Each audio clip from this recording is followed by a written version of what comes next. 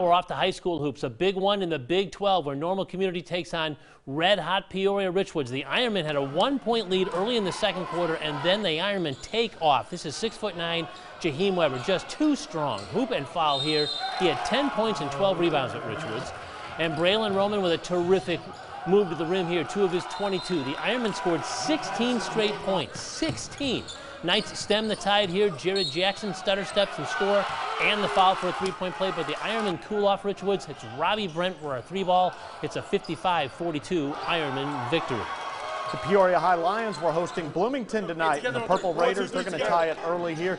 Nice move here from Adam Beasley, driving almost the full length of the court to get that layup. Lions take the lead back, though. Daquan Brown, he's going to knock down this three.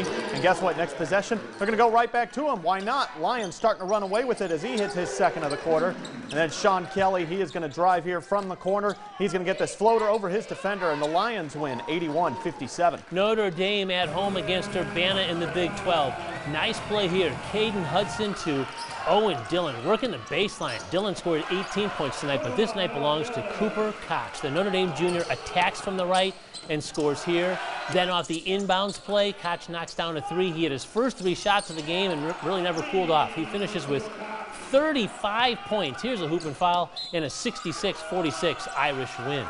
Wrapping up the Big 12 games, Normal West taking on Danville.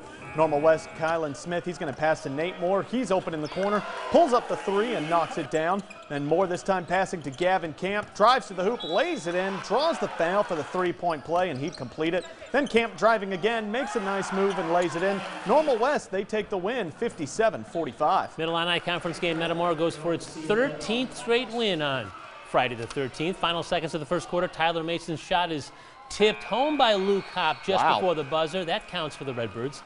Dunlap freshman Max Sutter, a terrific move to the hoop here. Dunlap only down four points at halftime, but the Redbirds are just so tough. Mason with a shot off the glass here. Calm, cool, and collected group, and a wonderful move here on the baseline by Matthew Zobris, part of a 62-54 Redbird victory.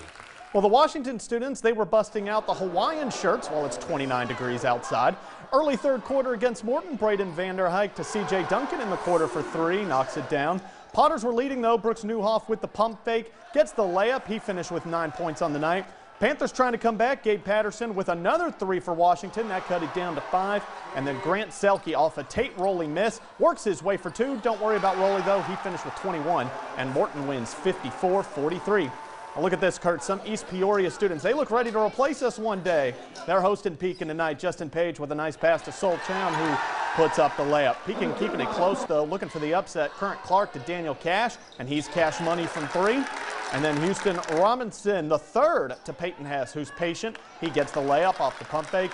East Peoria winning a nail biter. Page, another assist and a great move here from Jack DuBois. Raiders win 47-46. Canton Limestone meeting in Middle Illini Conference action in Bartonville tonight. And Canton's Dylan Watts goes to Braden Coker. Open three from the corner. He splashes that one in. Limestone's Jalen McLean is going to hesitate, and he's going to try a three, and that is also in.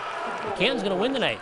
It's Caden Otto driving to the basket, lays it in, contact for a three-point play the hard way. 53-45, the Little Giants win it. Prairie Central suffered its first loss on Tuesday, but the Hawks on the road in Rantoul looking to get back to their winning ways.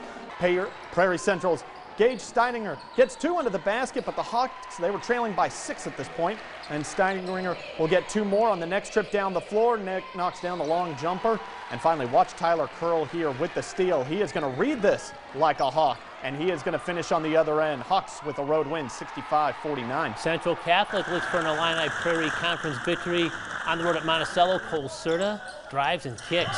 Trey Eller open for a corner three, and that's good. Jason Welch's team looking for that road win in the league, and his team would get it. It's Eller with another three here in a 79-61 Saints win at Monticello. Tremont at home against rival DMACC in the heart of Illinois Conference, celebrating with some future Turks fans. Tremont's JT Kaiser passed to Grant Williams. He hits the three. Then Kaiser on the inbounds to Williams. He finishes with the easy layup. DMACC's Braden Mathis. He passes to Brent Deniston, lays it in just underneath the rack.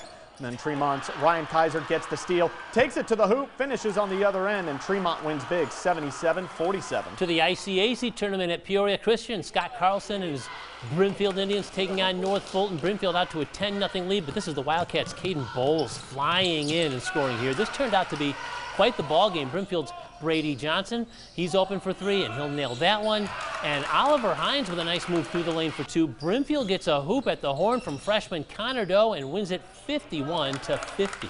Second game from that tournament tonight, Peoria Heights taking on Elmwood. We go to the third quarter. Barrett Martfell in the corner to Jackson Finney, and he hits the corner three. The Trojans leading though. Zach Howerton passing to Jimmy Babcock with a nice floater. Later, Brenton Williams, he's going to get the pass into Howerton on the transition. He finishes with 10 points, and the Trojans win 42 to 22.